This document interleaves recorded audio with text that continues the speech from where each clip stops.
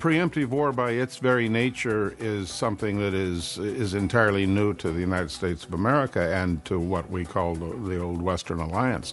Uh, let's you know, you go back through history and and at the Peace of Westphalia in, in, in 1648, a, a, group of nations that had just killed most of each other off decided that this isn't quite the way to do it. And they came up with a set of laws that we've all lived with fairly well uh, since then, uh, which doesn't much allow for preemptive war. I think the real reasons behind the Iraq War lie in a, a almost a, a, kind of philosophical and geopolitical vision of the neoconservatives uh, who dominate our foreign policy establishment today. And that is the belief that the United States does dominate the world as the world's sole superpower, that it, ha- it must assert its power globally, uh, everywhere, and that anyone who resists this or defies American power is absolutely unacceptable and becomes automatically very much the enemy. The theory that you can bludgeon political grievances out of existence uh, doesn't have much of a track record. Uh, and uh, so essentially, we, are, we have been neoconned into applying a uh, school of thought about foreign affairs that has failed everywhere it's been tried. So by the late 1990s, let alone 2003, it was clear that Iraq did not have a nuclear weapons program. But over and over again, President Bush, Secretary of Defense Rumsfeld, particularly Vice President Cheney, but also National Security Advisor Condi Rice drummed up the idea of a reconstituted nuclear capability, and particularly the notion that I think has some resonance among the American people of the mushroom cloud. For those who are advancing a different doctrine with which I strongly disagree, and that was that the United States could take unilateral preemptive action. But if you believe in unilateral preemptive action, it certainly has to be in response to an imminent threat. And the idea that Saddam Hussein could have nuclear weapons uh, was a, a, a, truly an imminent threat, and nothing more graphically um, uh, pointed that out. It, it, it, except the most powerful argument that was made let's not let the smoking gun be a nuclear cloud. If someone is waiting for a so called smoking gun, it's certain that we will have waited too long. We don't want the smoking gun to be a mushroom cloud.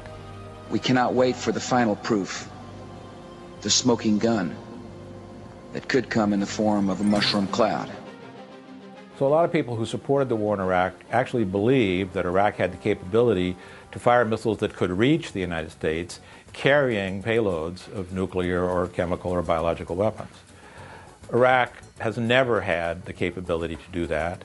They didn't have it in the first Gulf War, they didn't have it in this uh, war in Iraq and they don't have it uh, any way of getting it in the future. That very first day, on September 12, one day after September 11, uh, the meeting that was held in the White House, in the Situation Room, uh, led to Rumsfeld asking the question shouldn't we use this as an opportunity to do something about Iraq as well? There are Al Qaeda in Iraq. Saddam Hussein um, cavorts with terrorists. Secretly and without fingerprints, he could provide one of his hidden weapons to terrorists or help them develop their own. Well, the war really had absolutely nothing to do with terrorism. Uh, there was no connection whatsoever between Iraq and the secular regime there and the religious fanatics who perpetrated 9 11. Saddam was not a maniac or a fool. He was a terrible villain, yes, but he was not going to sacrifice his own life and the future of his country to stupid adventures with terrorists who had completely antithetical views to his. It is just inconceivable to anybody who understands Saddam Hussein and understands the nature of highly centralized dictatorships generally that uh, dictators would want to give up control of their most potent weaponry. Because once you've given up control, you have no control. So you can't say to Al Qaeda, you will use this or you won't use it. The decision on whether or not they're going to use it depends on what Osama bin Laden does. Do you want to entrust your fate to Osama bin Laden and his nihilistic ways? I don't think so. Saddam Hussein is a psychopath and a sociopath. He was not an irrational being in the sense that he was going to um, ensure his own demise by doing something like that. Al Qaeda has had total contempt for Saddam Hussein himself. He's been a socialist. He's been very harsh. He's treated Islamic leaders, Islamist leaders, extremely harshly. Iraq, and we have very good intelligence on this, was not part of the picture of terrorism before we invaded. Saddam Hussein and bin Laden were enemies. Bin Laden considered and said that Saddam Hussein was the socialist infidel. These were very different kinds of individuals competing for power in their own way, and Saddam Hussein made very sure that Al Qaeda couldn't function uh, in Iraq, that terrorists couldn't function, except for the small northeastern quadrant of the country where there was an extremist group, but he had no control over that. It was near the Iranian border. There's no doubt that Ansar al Islam is a radical Islamic terrorist group with ties to Al Qaeda, but they operate in a part of Iraq that is not controlled by Hussein. The leaders say they seek to overthrow Hussein and his government. They are our enemy, or really they are also our enemy. We believe that Saddam Hussein, him and his group and his ministers also, they are outside of Islam's zone.